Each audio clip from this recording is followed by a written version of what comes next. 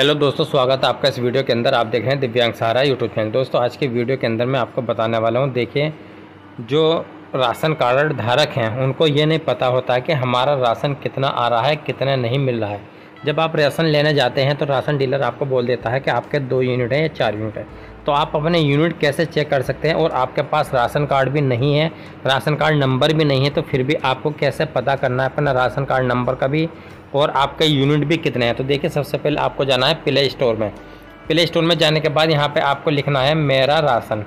ठीक है, मेरा राशन लिखने के बाद जो है, तरह की एप्लीकेशन ओपन हो जाएगी। देखिए इस एप्लीकेशन का जो वर्जन चेंज हो चुका है, मैंने अभी अपडेट नहीं किया। मेरा राशन 2.0 ठीक है? तो मैंने इसको डाउनलोड कर रखा है तो मैं अपना ओपन कर लेता हूँ। ये देखिए, इस तरह का लोग है, मेरा राशन।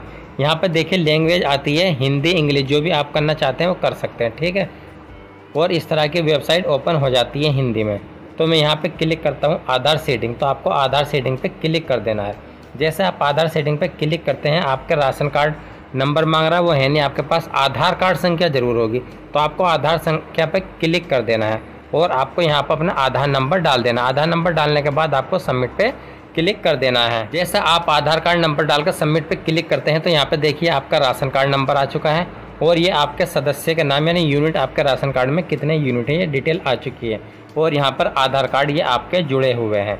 तो दोस्तों, इस तरह से जो आप पता कर सकते हैं। और एक राशन यूनिट पे एक सदस्य पे पाँच के राशन मिलता है। अब कुछ राशन डीलर ऐसे होते हैं जिनकी शादी हो जाती है तो जैसे फीमेल है, लड़की है, उसकी शादी हो जाती है तो राशन डीलर बोल देता है कि इसका नाम कट चुका है, शादी हो चुकी है, अब इसको राशन नहीं मिलेगा। और राशन में नाम चलता रहता है तो वो उसका पाँच के जो राशन होता है, वो डीलर खुद खा जाता है तो आप इस तरह से चेक कर सकते हैं। दोस्तों, चैनल पर पहली बार आए तो चैनल को सब्सक्राइब कर ले, साइड में बेल आइकन को भी दबा दें।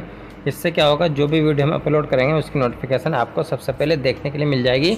दोस्तों, मिलते हैं नेक्स्ट वीडियो में।